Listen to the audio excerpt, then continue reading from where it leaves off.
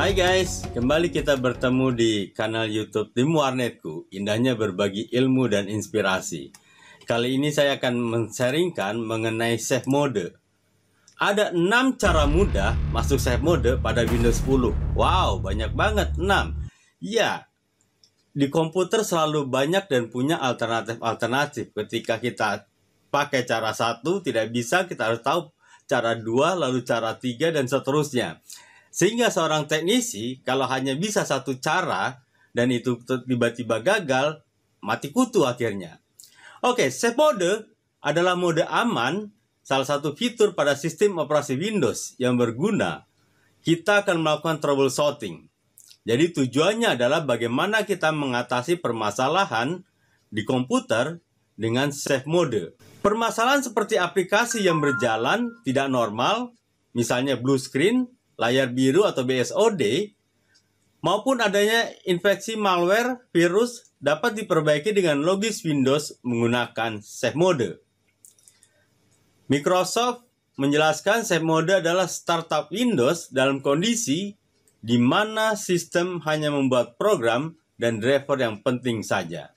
Jadi dia hanya berjalan dengan mode minimalis sekali, tidak ada driver dan aplikasi lainnya.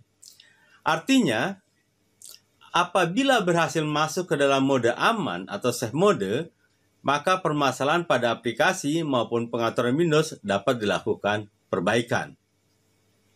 Namun, apabila terdapat kendala pada masuk safe mode, bisa jadi ada permasalahan pada Windows atau perangkat keras komputer atau laptop Anda.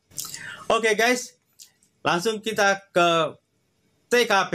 Bagaimana cara masuk save mode di Windows 10? Rupanya ada sebuah perbedaan. Nah, Anda yang pernah memakai mulai Windows XP, Windows 7, Windows Me, tentunya akan merasakan sebuah perbedaan. Kalau misalnya kita di Windows 7 terbiasa booting tekan F8, hal ini tidak bisa terjadi di Windows 10 karena Windows berpikir ini akan memperlambat proses booting. Berikut uraian detailnya seperti ini.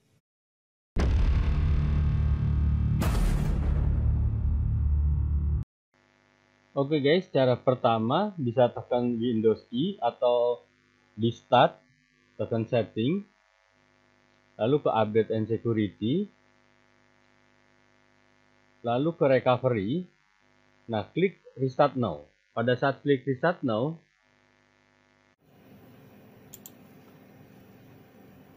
ya restart.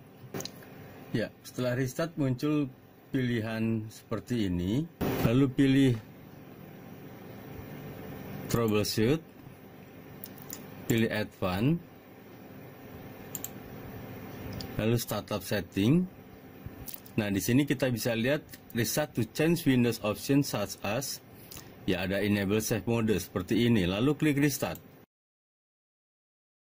Ya di sini kita bisa lihat dari nomor 4 ada enable save mode nomor 5 enable save mode with networking lalu nomor 6 enable save mode with command prompt jadi kalau mau ininya kita tinggal tekan aja misalnya kita pilih nomor 4 tekan F4. Ya kita lihat apakah berhasil. Nah kalau kita lihat layarnya lebar berarti sebenarnya berhasil karena dia tanpa driver VGA. Oke kita bisa lihat di sini ada tulisan save mode, save mode. Ya jadi di sini kita bisa lakukan misalnya ada driver yang bermasalah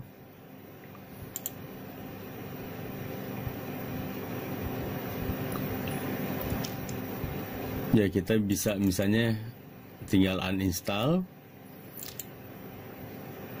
Jadi sebenarnya kita harus ingat terjadinya blue screen penyebabnya apa gitu. Nah kalau juga misalnya bermasalah karena kita habis menginstal sebuah software kita bisa langsung uninstall software yang kita install tersebut Ya, seperti itu. Jadi entah itu driver atau yang lain. Nah, kadang juga yang bermasalah kalau misalnya ada aplikasi yang kalau di Windows normal tidak bisa di-delete, di sini bisa di-delete. Oke, nanti kembali normalnya kita tekan restart. Ya, kita lihat layarnya lebar berarti masuk ke normal. Oke, begitu caranya guys.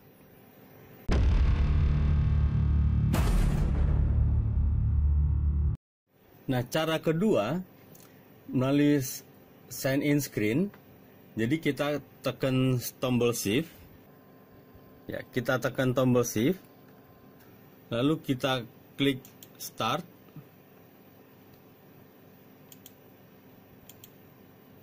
Restart. Tombol shiftnya jangan dilepas. Nah, troubleshoot. Nanti kita pilih seperti tadi Oke, begitu guys.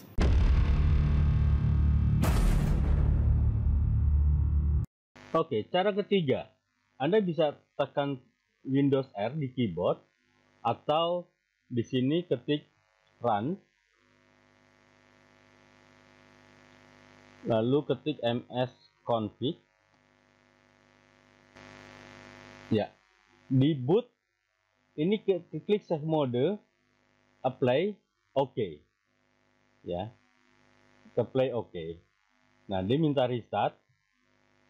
Nah setelah restart jangan lupa kembali di save mode ketik run msconfig save modenya ini dihilangkan karena kalau tidak anda hilangkan nanti akan masuk ke save mode terus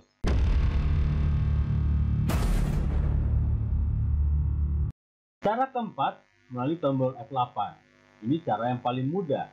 Mulai Windows XP, masuk ke save mode dengan tekan F8. Tapi mulai Windows 8 dan 10, Microsoft menghilangkan dengan tujuan untuk mempercepat proses booting.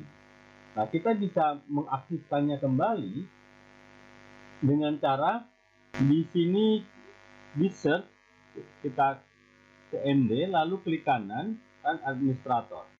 Oke, lalu ini CD. Ini saya sudah bikin codingnya. Jadi ketik BC Edit. Ini dipaste ke sini. Lalu enter. Oke guys. Operation complete successfully. Nah setelah itu baru kita merestart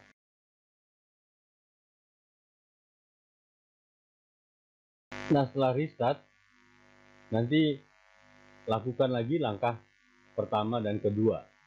Nah kalau nanti uh, guys mau mendisable lagi, tinggal di copy ini.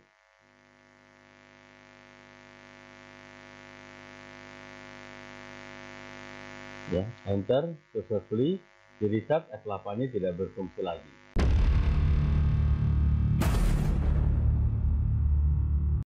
Oke, cara kelima, kita bisa masuk ke save mode pada saat berada di login screen.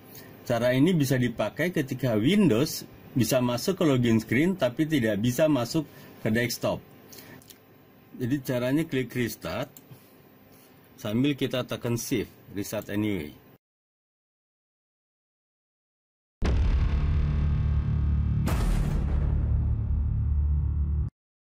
Oke, cara keenam ini bisa digunakan untuk masuk ke save mode saat Windows 10 tidak bisa booting dengan normal. Kita akan menggunakan tombol power untuk mematikan dan menghidupkan komputer secara berulang-ulang hingga Windows masuk ke halaman Windows Recovery Environment atau Windows RE seperti ini. Caranya, pada saat komputer dalam keadaan menyala, tekan tombol power dan tahan 10 detik untuk mematikan komputer lalu tekan tombol power lagi untuk menghidupkan komputer. Jadi sebenarnya intinya di sini bagaimana kita mematikan dan menyalakan komputer sehingga Windows akan otomatis ke dalam masuk ke dalam Windows Recovery.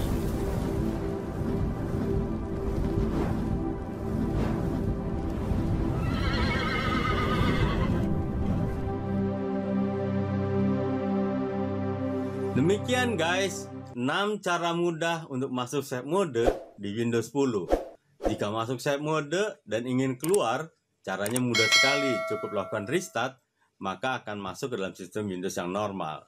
Tapi kalau misalnya alternatif paling terakhir masuk save mode tidak bisa, ya mau harus install ulang.